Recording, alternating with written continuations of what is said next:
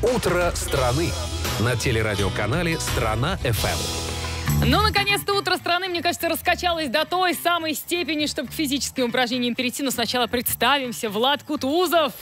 Валерия Майорова, конечно же. Доброе утро всем. Вот смотрю я на наши гости, и мне, я же сижу как, вот так, а мне захотелось прям вот, знаете, Захотелось спину, тебе. прям вот раз.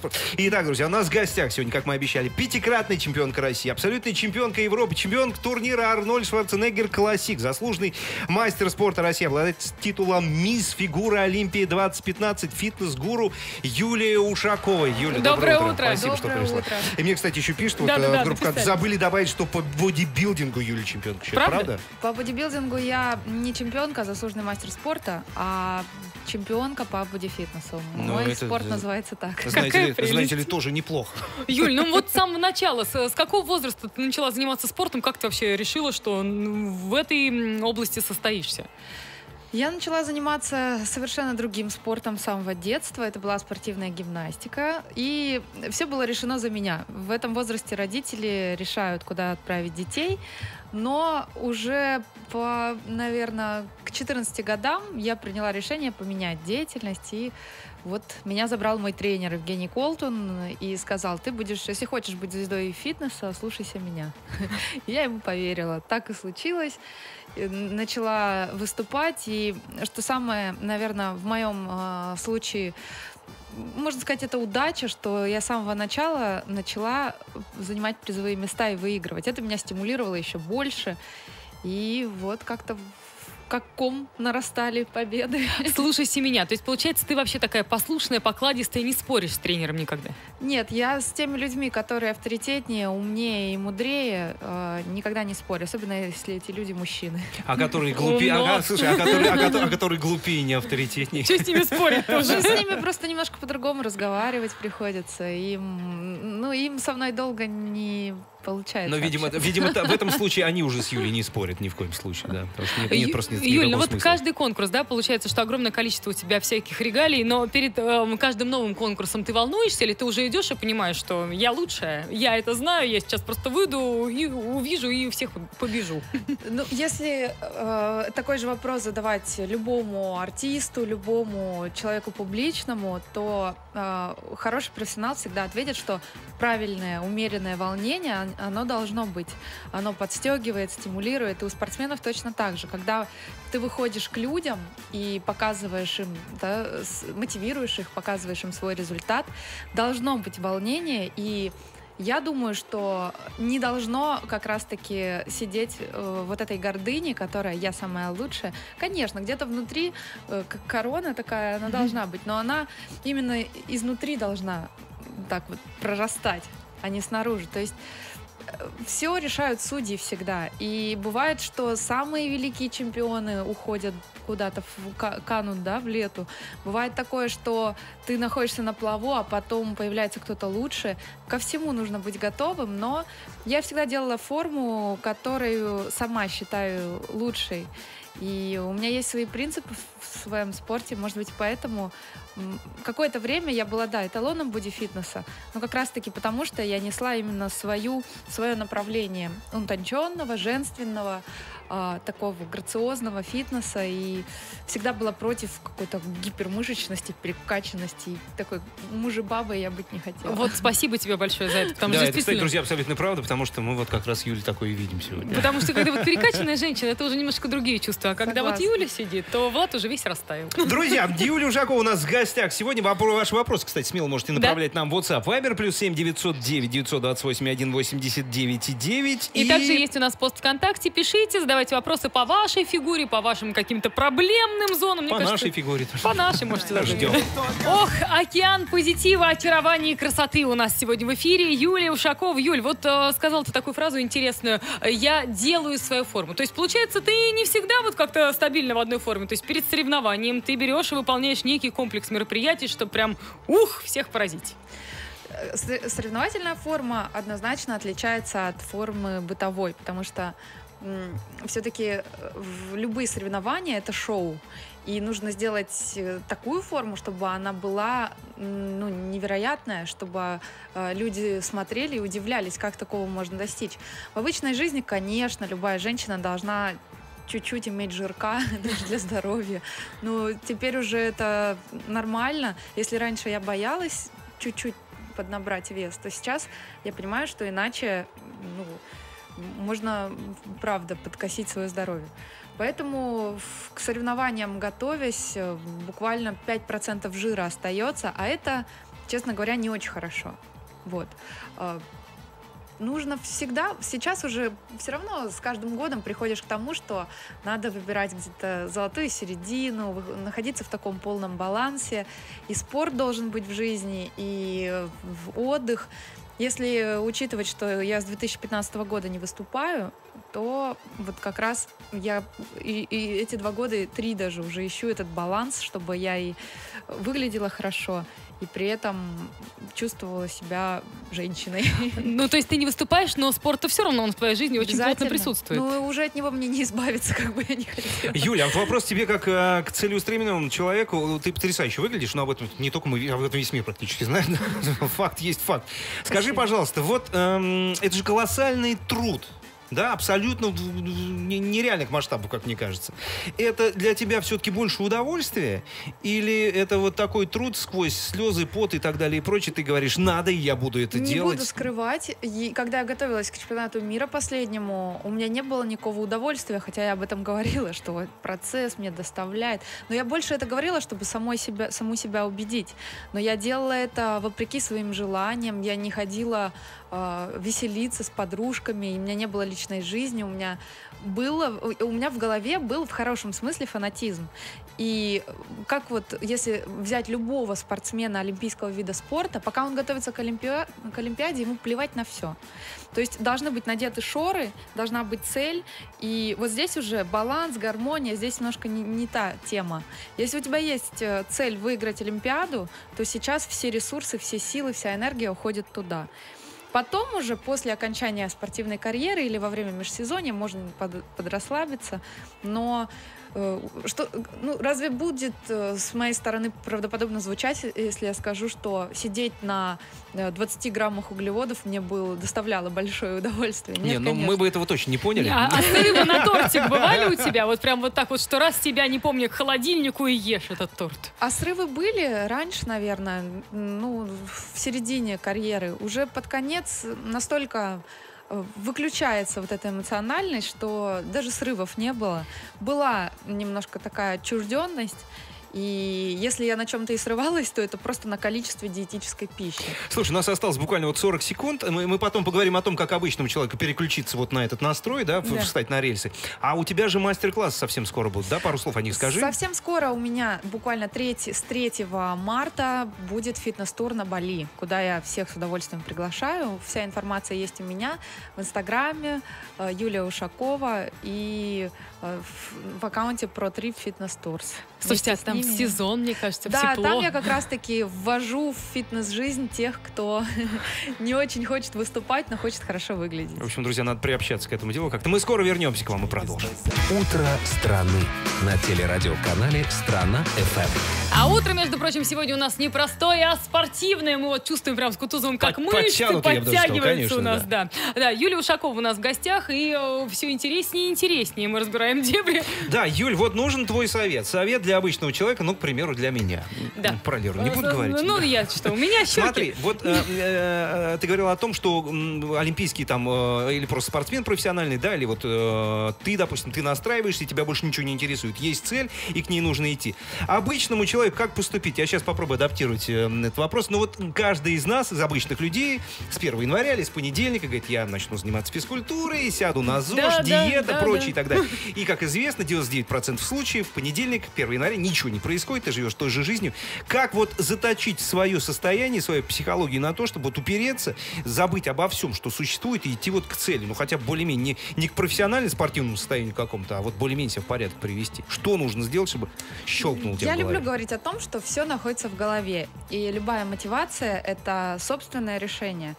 Мотивация не может э, быть вот взята из ниоткуда. И мой посыл всегда тем людям, которые только хотят, говорят, что я хочу... Я-то знаю их гораздо больше даже, чем вы, таких людей, которые хотят похудеть, но для этого ничего не делают или откладывают постоянно. Просто э, в их представлении нету конечного выхлопа, конечного э, вида себя, да, они не визуализируют, они не представляют, как, измен... как может измениться их э, ну, самоощущение, жизнь, э, восприятие себя.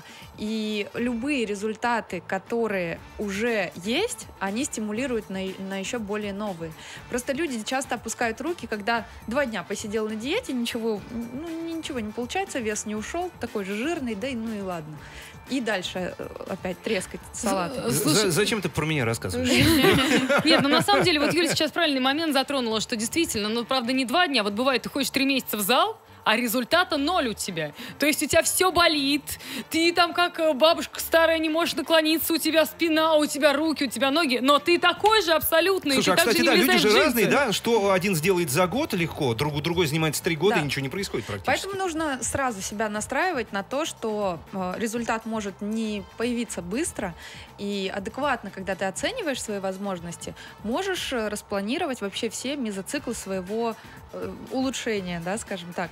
Поэтому а, в одиночку сложно, поэтому сейчас очень много разных проектов, много э, марафонов э, и объединения тех людей, которым легче действовать сообща. Во-первых, это здоровая конкуренция. Когда ты один э, садишься на диету, ну, непонятно, вроде не с кем сравнивать, да, и никто тебя не, не стимулирует. А очень хорошо делать это с кем-то. А, Мой большой совет. Если села сама на диету, посади туда еще подругу, э, в- откинем все зависти и все прочее, лучше, правда, действовать сообща. А, Нужно себя постоянно, опять же, визуально стимулировать. Я ни, ни в коем случае не говорю о том, что создавать себе кумиров, но, по крайней мере, все мы листаем Инстаграм постоянно, да, и все мы смотрим с каким-то таким э, чуть-чуть недоверием вот на этих фитоняшек, которые с плоскими животами выкладывают свои селфи. Но, тем не менее, э, можно и из каждого такого аккаунта почерпнуть для себя что-то новое. То есть видеть, как люди могут выглядеть, это очень важно. Поэтому нельзя закрываться, и нужно всегда просто для новой информации, для всего быть открытым. Ну и, конечно, я сторонница э, постановки конкретной цели в конкретное время. Я не люблю говорить о том, там, 2 килограмма, 3 килограмма. То есть э, самое главное не сколько ты весишь, а как ты выглядишь. Ой, Юлечка, по поводу, по поводу цели очень интересная тема. Давай продолжим ее чуть позже. Юлия Ушакова у нас в гостях. Друзья, скоро к вам вернемся. «Утро страны» на телерадиоканале «Страна ФМ». Друзья, доброе утро. Утро страны на телерадиоканале «Страна ФМ» продолжается. Фитнес, я без регалий, можно так быстренько. Фитнес-гуру. Вот Да, всё. всё в Красавица, этом слове. спортсменка. Мне Юлия Ушакова у нас в гостях. Продолжаем наш разговор. Слушай, ну ты в прошлом выходе уже достаточно много сказала про цель, но я так понимаю, что цель, эм, она должна подкрепляться какими-то психологическими моментами. То есть вот доска для визуализации это вполне себе такой момент, который может вам помочь. Обязательно должна. Ну и что там должны быть Цель э, роскошные женщины? чем-то, чем-то подкрепляться. Вообще у каждого человека же она разная цель, потому что она зависит от ценностей. У кого-то, особенно это женщин касается, многие это делают ради мужчин. Особенно свободные девушки сильно рьяно худеют, и у них это, в принципе, получается лучше даже тем, чем у тех, кто в таком долгом замужестве находится, и вроде мужу все нравится. Поэтому цель должна подкрепляться своими собственными убеждениями, да, о внешнем, внешней красоте. И прежде всего это не, должны, не должен тебя никто заставлять извне, потому что это как с алкоголиками. Его никто не заставит бросить пить, если он сам не решит. То же самое с едой. У человека, для некоторых людей отношение с едой это как с наркотиками. Зависимость, да, абсолютно Есть верно. зависимость абсолютная, потому что для некоторых это единственное удовольствие.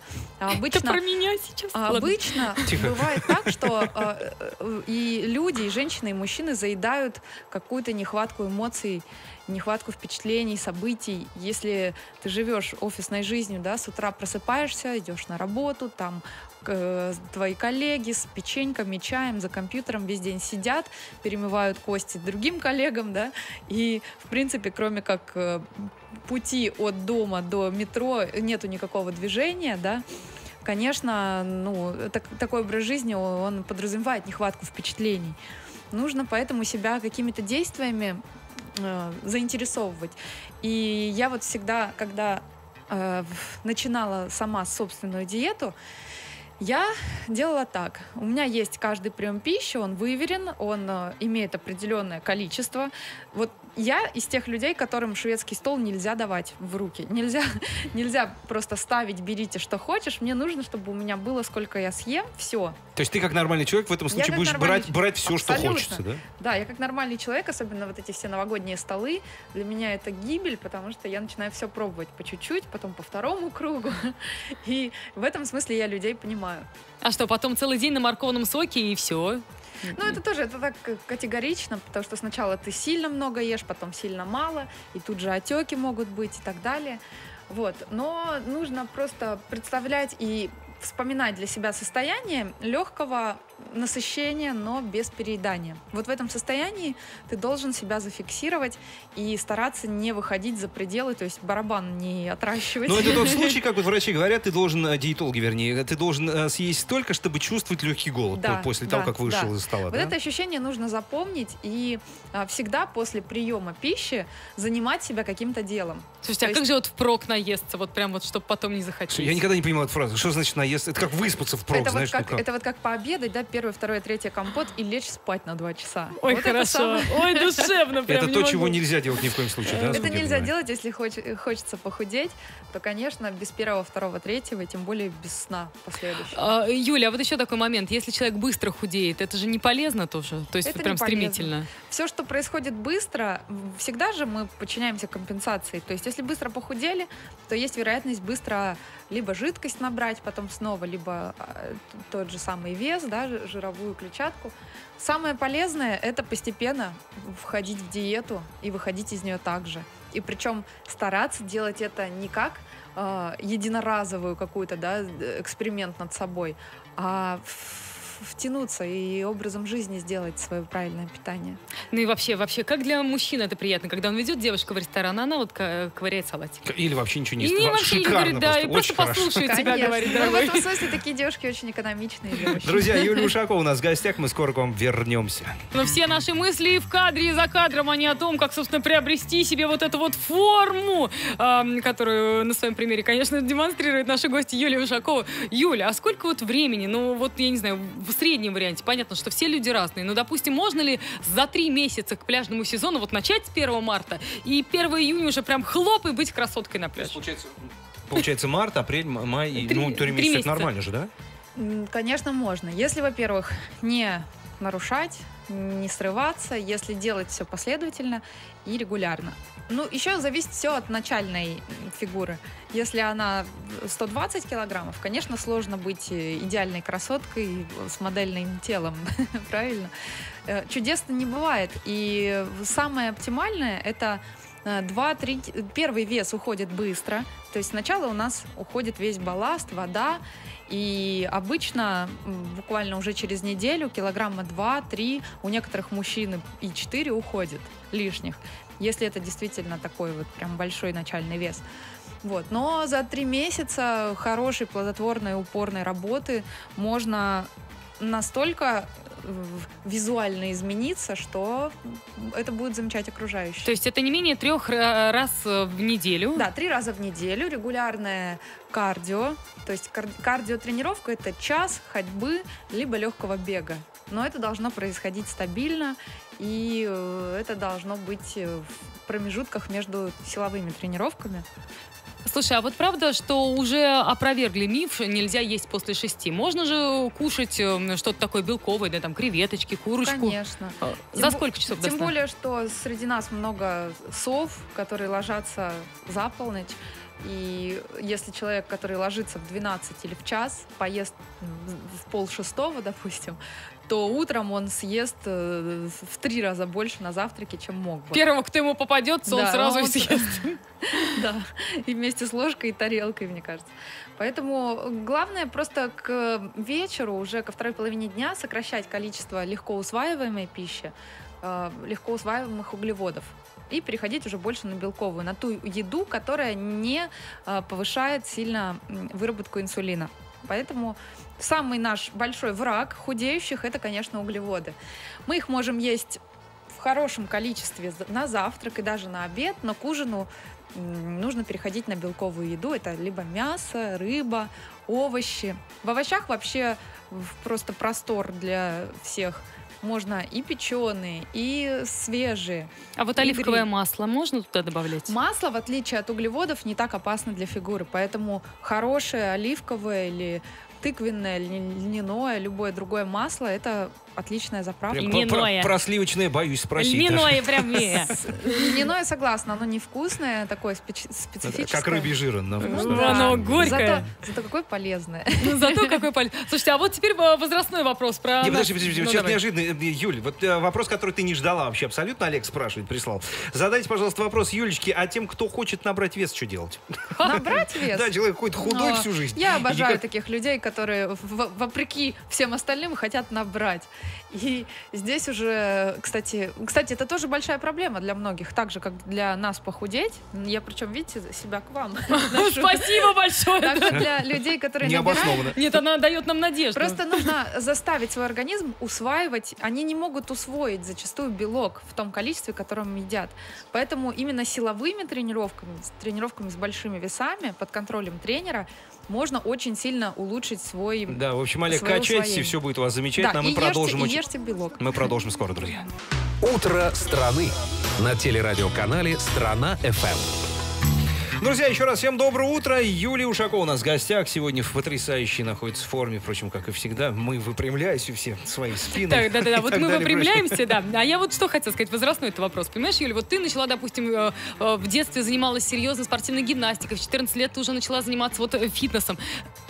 Аж подавилась от радости. Ты скажи, а вот для людей за 30 или даже за 40, насколько применимо вот начать так с нуля? Что нужно, э, где нужно себе постелить соломки, чтобы вот э, хуже здоровью не сделать? На этот вопрос я всегда люблю дискутировать с мамой моей, которая э, всегда почему-то считает, что ей уже поздно, да ладно, я уже все, не, не могу заниматься спортом. Но это все не так. На самом деле люди начинают, я вам более того скажу, и выступать на соревнованиях э, за 40 лет будучи. Поэтому никогда не поздно. И самое, что главное, это не торопиться, не форсировать события, не стараться сразу взять и все успеть. То есть То есть аккуратненько, потихонечку. аккуратненько, да. Сначала начинаем с самых простых Сначала упражнений. померили давление, Померили сердечный ритм. давление, Конечно. Прошлись, э, спустились пешочком по лестнице, проверили, возможно ли это. Потом поднялись. И э, любые тренировки нужно тоже начинать под присмотром хорошего специалиста, и он уже будет постепенно увеличивать нагрузку. Только так. Потому что разочарование людей, которые пришли в зал и с первой тренировки уничтожили свои суставы, это самое великое, наверное, разочарование в, э, со времен тренажерных залов. А это сделать легко достаточно. А это очень легко, поэтому в первую тренировку можно так себя, а причем многие же как еще, даже взрослые люди приходят в зал и говорят, нет, пожалуйста, самого терз- терзающего тренера, который из меня побыстрее сделает красоту, но тренер даже, чтобы показать свой профессионализм, делает действительно эн- энергозатратную тренировку, затем следующие три дня у человека все болит, потом начинает там хрустеть спина, и отсюда возникает уже полная уверенность, что тренажерный зал это не мое, и я пойду лучше в бассейн. А вот вы сейчас удивитесь, я как-то ходила в тренажерный зал, и меня вообще заставили, э, ну, с пустой вот этой вот э, планкой приседать. А подружка у меня приседала прям с такими э, блинами. Ну и что, теперь она коленки лечит, бедная. Ну, Ну, вот ее очень случай, хвалили, да, да, говорили, что не очень говорила. получается. Ну вот это и есть ошибка, не нужно торопиться с маленьких. Да- Даже я, хоть и спортсменка много лет, но у меня был перерыв тренировках, и я, мне абсолютно не стыдно, когда я приседаю с пустым грифом при девчонках, э, новичках, которые там что-то себе уже вешают. Это не главное вообще показать, на что ты способен, главное делать это ради своего здоровья. Да, кстати, Лера, это называется гриф, а не планка. А, не Планка, это, планка? планка это другое упражнение совершенно. Слушайте, ну, ну, ну, вот вы тоже, Слушайте, у Влад, не нас, у знали нас до буквально этого. минута остается. Юль, давай, может быть, еще раз, э, если кто-то хочет, да, такие люди наверняка есть, поехать Да. за тобой. Да, На конечно. юга Вот. э, привести себя в Вообще порядок. фитнес можно начинать не только с рабочего городского режима, но и в режиме фитнес-тура. Гармония и как отдохнуть, раз. да, заодно. Я с 3 марта по 10 набираю группу в, на Бали.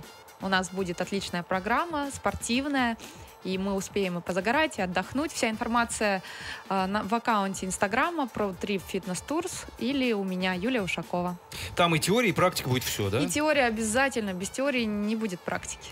И Ну что, пора заканчивать. Юлечка, огромное тебе спасибо, Нам- что нам пора ты в пришла. спортзал, ма- майор. Ну да, да, да, и майонезом, да, заполировать. А, Юль, во-первых, спасибо тебе за вот эти светящиеся глаза Влада Кутузова. Он любовался целый час. Спасибо тебе за те рекомендации, которые нам дала. Ну и огромное тебе спасибо за твои успехи. Пожалуйста, радуй нас. Юлия приятно. была у нас. Спасибо большое, И приходи. вам спасибо Пока. большое. Счастливо.